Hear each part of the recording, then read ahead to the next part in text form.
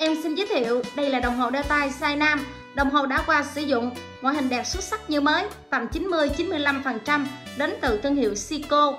Size của đồng hồ là 37, cả núm chưa tính núm là size 35. Đồng hồ cơ automatic chạy tự động. Ngay vị trí 12 giờ là logo nổi đến từ thương hiệu Seiko. Ngay vị trí 6 giờ là logo có hình chữ LM.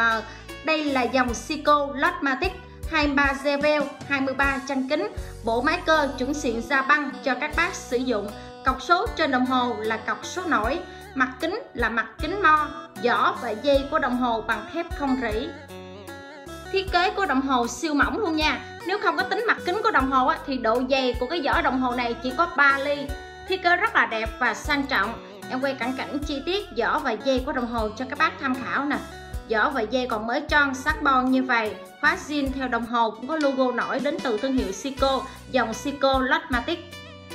Các bác càng xem hình ảnh chi tiết càng mua hàng, vui lòng liên hệ 0931 008 099 địa chỉ bên cửa hàng em là thành phố Long Xuyên, tỉnh An Giang, em ship hàng toàn quốc.